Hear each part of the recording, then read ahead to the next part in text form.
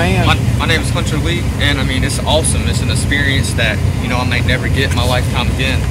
So it's awesome. This is one, always been my favorite NASCAR track. Go around here and get some, get an experience. So what kind of car are you taking your laps in? It's a 51 Fleetline Chevrolet. Chevrolet.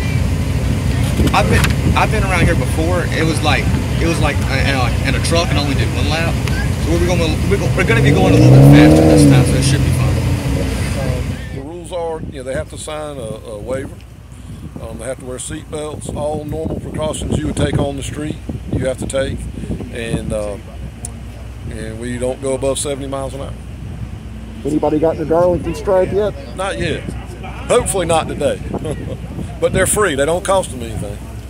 no extra charge for a Darlington stripe. Yeah, it's great. Great people. I mean, they they just they love racing for the most part. They they bring in their kids. Um, they just an opportunity to get on a track that you know you don't always get.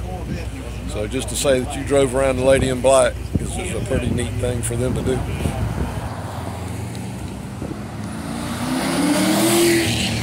Justin McKee, and absolutely, that was fantastic. You've got a, got a classic car to do this with. Uh, classic Japanese car. I don't, I don't think they had many Datsuns in NASCAR, but it's absolutely blast to be out there. Have you done something like this before? Uh, we've done track days and autocross. We're actually autocrossing right behind in the back lot.